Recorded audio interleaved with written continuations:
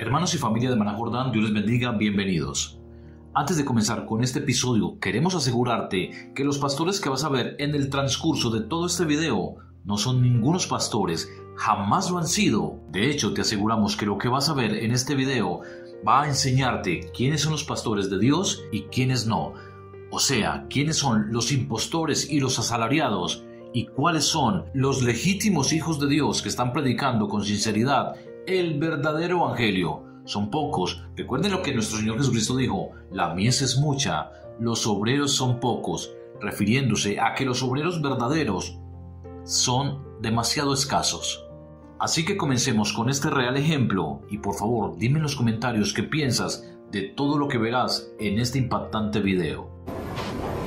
Buenos días. Pastor, ¿cómo está? Bien, gracias, por favor. Por cierto, ¿cómo se llamaba aquel predicador que invitó usted la otra vez? Castillo. Es un poco exagerado, ¿no le parece? Mire que ponerse a hablar de arrepentimiento, condenación. Como que no le gusta a la gente. Me incluyo. ¿eh? Preferible que sean amables. Mira cómo me divertí con el otro predicador. Ay, mi querido pastor, Dios nos está llenando de bendiciones. Para que avientar a la gente con, con predicadores rígidos, solemnes. Bueno, es, es un comentario, desde luego. Sí, claro. Aquí tiene, pastor. Gracias. Este ejemplo que acabamos de ver, aunque es actuado por estos varones cristianos, con este ejemplo que ellos grabaron nos están haciendo entender que los cristianos de hoy lastimosamente prefieren los pastores asalariados, los que no son pastores reales, o sea, los impostores que inundaron la mayoría de iglesias de estos últimos tiempos, extraviando a miles de cristianos. Así que les aclaramos de una vez, hermanos míos, que cuando decimos iglesias y pastores y mostramos a estos sujetos, no es porque estas iglesias sean verdaderas o estos hombres sean pastores reales y que estén equivocados. Pues los llamamos así para que los niños espirituales comprendan la triste situación que está viviendo el cristianismo de los últimos tiempos. Pastor, pregunta como dicen al pecho. ¿Qué dice la Biblia respecto al uso que se le debe de dar a los diezmos? Dos preguntas tengo para usted. Esa es la primera. Muy buena pregunta y es una pregunta muy controversial. Sí. Pero eh, la Biblia es bien clara. La Biblia dice que el diezmo es del pastor.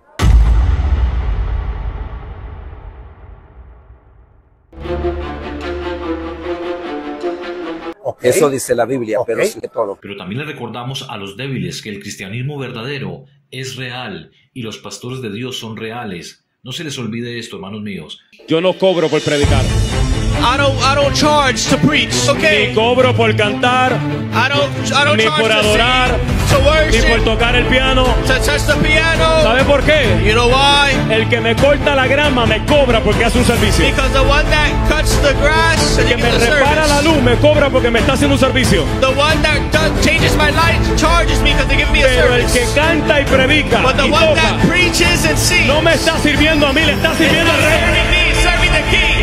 ¿Y quién se atreve a cobrarle al rey? Si tu salud, tu salvación y todo lo que tú tienes te lo ha entregado el rey. Por predicar no se cobra. Por adorar no se cobra. Por cantar no se cobra. Por tocar no se cobra. for playing, you don't La paga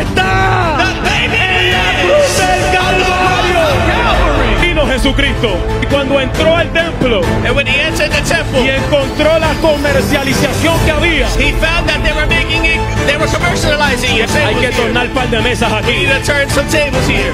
Yes, I'm okay Creo en las ofrendas. I believe in the offering. Pero no creo en la comercialización del But I evangelio. don't believe in making it a business. Por eso es que tenemos gente perdida. That's why we have Por eso tenemos gente en el mundo We have people in the world que han visto la iglesia como algo que no es.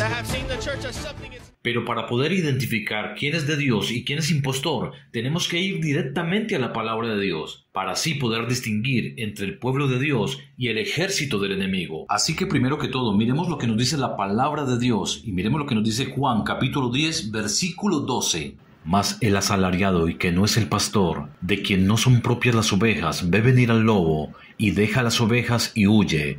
El lobo arrebata las ovejas y las dispersa, así que el asalariado huye, porque es asalariado y no le importan las ovejas. Aquí nuestro Señor Jesucristo nos está hablando de sí mismo, pero también nos está dando referencia al asalariado, al pastor, que hace las cosas de Dios, o sea, que predica el Evangelio por interés. Y cuando un pastor predica solo por interés el Evangelio de Cristo, que le pone mucho énfasis a la economía, por favor, sepan y entiendan que ese pastor es un asalariado que no le importa la vida de las ovejas.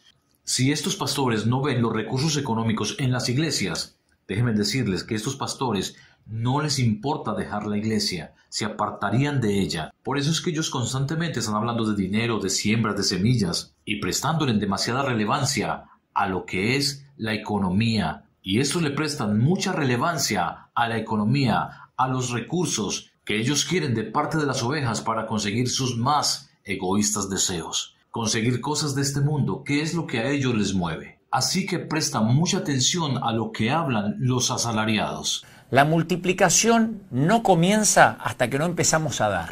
¿Está claro? Ahora, yo dije en el, cuando salí en vivo anteriormente que ahora se van a ver los pilotos de tormenta.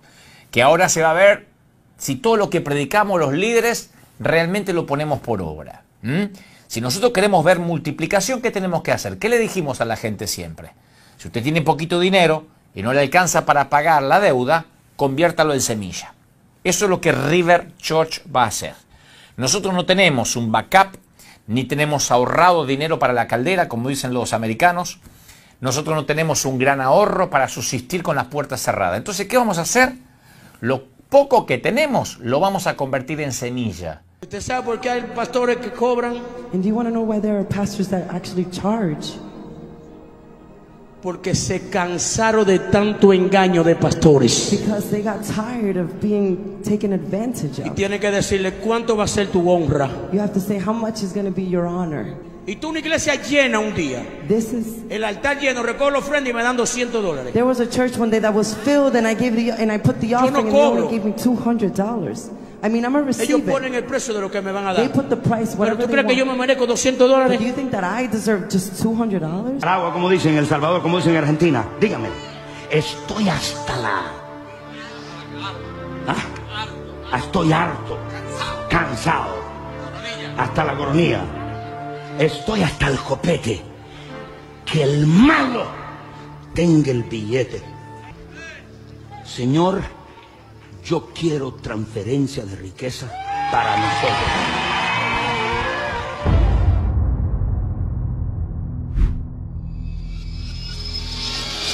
Señores, pónganle atención a esto.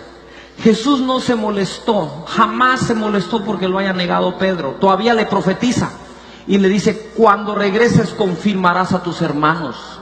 No se molestó porque Judas lo haya entregado. Cuando lo besó le dice, hey camarada, le dice, compañero mío, con un beso me entregas. Pero tiró las mesas por allá cuando ofrendaron mal.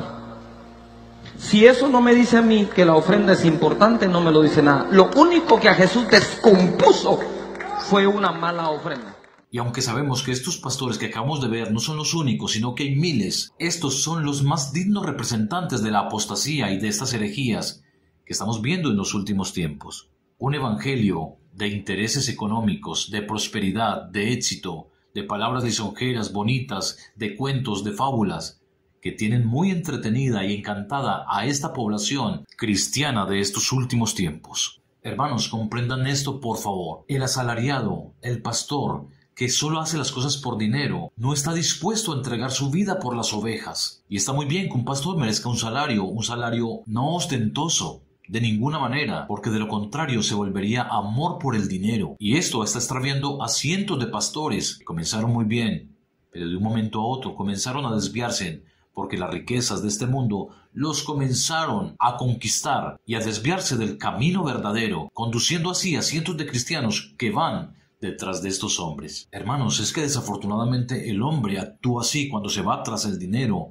y los intereses económicos de este mundo. Ezequiel 34 nos habla algo muy importante, donde el Señor manda a profetizar a los pastores de Israel, donde nos dice, di a los pastores, así ha dicho Jehová el Señor, hay de los pastores de Israel, que se apacientan a sí mismos. ¿No apacientan los pastores a los rebaños? Coméis la grosura y os vestís de la lana. Ojo a esto, hermanos míos, que esto es una realidad de estos últimos tiempos. La engordada degolláis, mas no apacentáis a las ovejas. No fortalecisteis las débiles, ni curasteis la enferma. No vendasteis la perniquebrada. No volvisteis al redil la descarriada, ni buscasteis la perdida.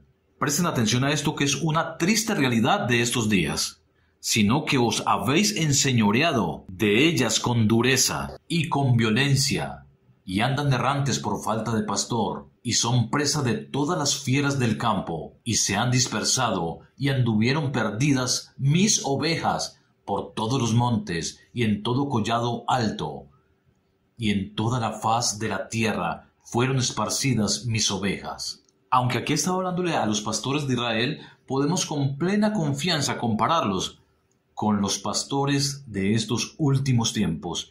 A ellos no les importan las ovejas. Hermanos, por favor, nosotros los cristianos, los que tenemos algún ministerio, no podemos cobrar por el Evangelio. No puedes cobrar por cantarle al Señor. No puedes cobrar en una iglesia.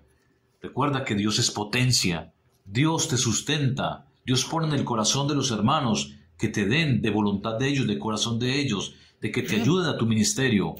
Pero no tengas en tu corazón el trasquilar las ovejas. Hermanos, les estoy hablando a los pastores, ministros, evangelistas que tienen la oportunidad de ver este video.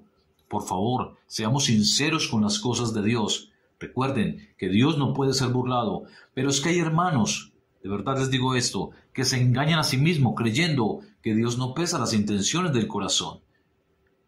¿Acaso creen ustedes verdaderamente en Dios? Si creen ustedes verdaderamente en Dios, tienen que saber que Dios sabe qué hacen ustedes, qué piensan ustedes antes de pensarlo, qué es lo que vamos a decir antes de decirlo. Él lo sabe absolutamente todo. Entonces no pretendas jugar con el Señor.